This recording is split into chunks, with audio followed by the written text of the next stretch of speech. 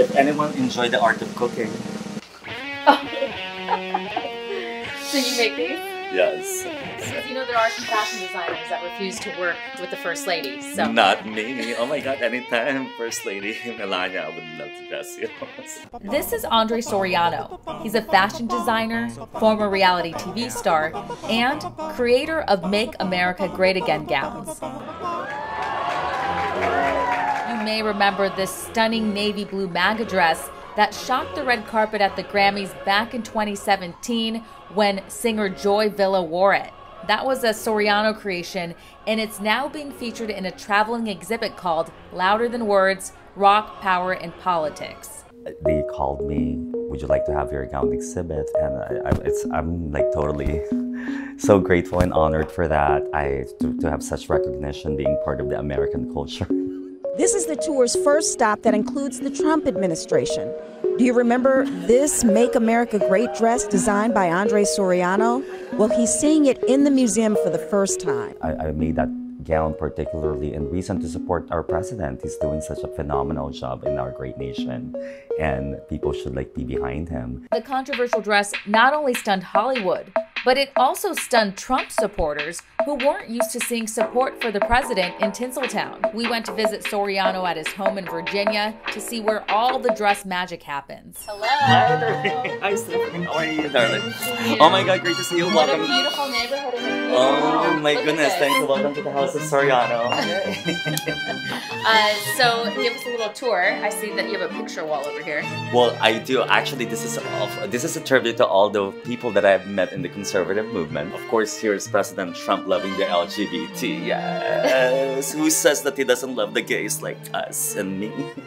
you know as an immigrant from the philippine islands i you know i moved here as a legal immigrant we did it all the right way and you know i went to the whole american system where i went to high school i worked at mcdonald's like you know just being an american and then i went to college high school college and then pursue my career as a fashion designer We're going to my uh, studio where I create and cut all the fabrics and fit all these women. So welcome. well we have to start from scratch and which is kind of like i see that's one of the things that i love about this country if you work for it you know sky's the limit So when, when I have clients, this is where um, I introduce them. We do our fittings here. You know, when I have um, have a fashion show coming soon, so this is where all the everything starts from scratch. So this is all where um, kind of part of my showroom um, where I have women. Um, you know, I, uh, introducing my work to the local women here in the DMV area. Oh, here's another dress. Here's another um, MAGA gown over here. You know, this this is particularly I just designed this for um for the youngest congresswoman. Her name is um Miss Morteau. Uh, she's actually my neighbor, and then she came down to Washington just like to wear the gown in, in tribute to our president for his birthday. And then of course this is the one that um, Alice wore for the Virginia woman for Trump. Of course, follow the Trump train. That's why I always put the Trump, the Trump logo in the back. I think it's not being a Democrat or a Republican, it's the respect just being an American, you know, and politicians we chose them for to take care of the American people. You know, it's from from my Eras collection, and I was thinking of um, our our first lady when I was making this and stuff, or before she became a first lady. Simple entrance, grand Would that be your dream come true to dress Melania Trump? Oh my goodness, I would love to dress um, our first lady. Oh, it'd just such uh, an American dream for me. Because you know there are some fashion designers that refuse to work with the first lady. So Not me. Oh my god, anytime, First Lady Melania, I would love to dress you.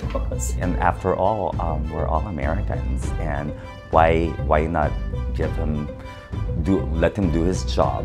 And look, it resonates that our economy is so fabulous right now. That's why a lot of people get pissed off. It's like, hey, love your president and love this country. So for your cooking needs, if you need an apron right here, the most glamorous apron or making America great again.